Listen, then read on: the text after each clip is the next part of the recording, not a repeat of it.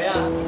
前期要要做这个功课，包括你行走的起伏感，包括身体的律动感，包括进入到那个那个宋朝那个时期，包括跟服装之间的那个关系。眼神还有你的气质，因为你给我感觉很现代，然后甚至于是有点欧式，先练点睛的持久力。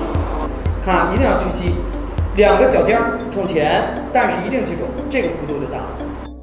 手要舒展，你看现在你的那个都是佝偻的。通过这些动作，你感觉到整个空间是我，这个房子是我，我的身体在所有的我的气息，对，往前，对，移动重心，对，非常好，就是这个意思，就是这个意思，非常快你就能掌握，非常快你就能掌握。